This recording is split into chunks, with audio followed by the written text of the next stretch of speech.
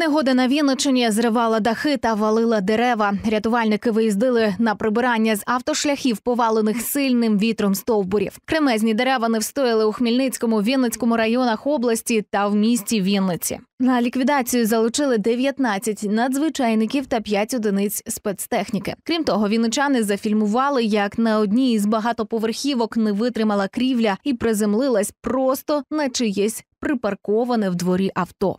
Внаслідок негоди, а саме е, сильного поривчистого вітру, що пройшовся деякими районами е, нашої Вінницької області, до служби порятунку загалом надійшло п'ять повідомлень про те, що дерева були повалені на автошляхи. Зокрема, такі випадки сталися у селищі міського типу Літин, е, Хмельницькому районах області та в обласному центрі. Аби ліквідувати наслідки негоди, саме прибрати повалену деревину, рятувальники виїздили, розкрижовували її.